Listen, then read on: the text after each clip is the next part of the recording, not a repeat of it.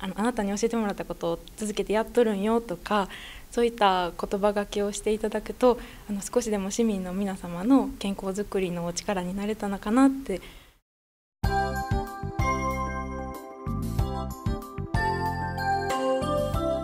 市民の皆様からの健康相談や乳幼児検診生活習慣病予防の取り組みや食生活の改善など幅広い業務内容となっていますが私はその中でも介護予防教室の実施や認知症予防のための相談会の開催を行っています。職場はすごい皆さん優しい方でで実際さまざまなケースに関わってみたりして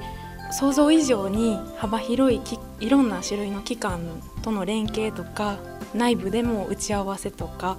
ケース検討を繰り返して行ったりとすごいたくさんの人々であの協力し合って業務が行われてるんだなっていうのを改めて実感しました。あんたに教えてもらったこれやっとるよとか そういう声かけをしていただいたりとか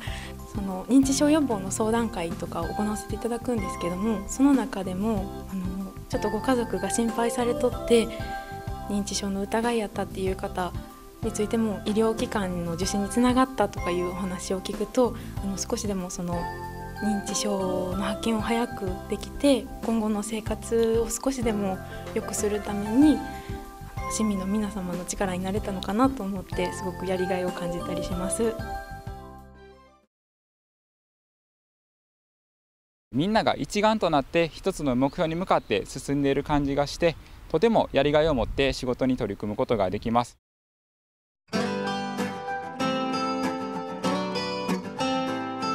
えー、観光振興として SNS を使って観光情報を発信したり灯台やサーフィンといったえ地域にある観光資源を使って、え地域の皆様と一緒に、え観光客や、え地域のいろんな方が楽しめるようなまちづくりを進めています、え私が大学生の時に、え市役所と共同で授業をしたことがありました。ワークショップで、え同じ年代の子たちや市役所の方々と、え事業を進めていくうちに自分もこういった場でまちづくりをしていきたいと思ったことが市役所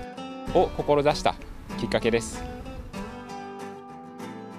えー、私もこれまでずっと島市民として、えー、生活してきました。市役所に入ってさまざまな行政サービスの仕組みに自分も携わることができて、えー、それまで当たり前と思っていたことが自分もその一員として携われたことまたそれが市民の方々にとってありがたいものと思っていただいていることが、え自分にとってのやりがいとなっています。えみんなが一丸となって一つの目標に向かって進んでいる感じがしてとてもやりがいを持って仕事に取り組むことができますまた、え上司同僚との関係も、えすごくよく、え悩んだこととか、えプライベートなことでも気軽に相談できるようなそういった関係ができていると思っています。